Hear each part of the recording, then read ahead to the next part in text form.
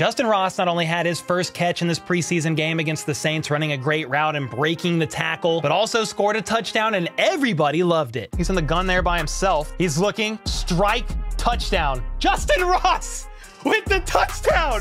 Oh my God. Chiefs Twitter's about to implode. Ooh, Justyn Ross with the touchdown. Oh my God. Let's go, dude.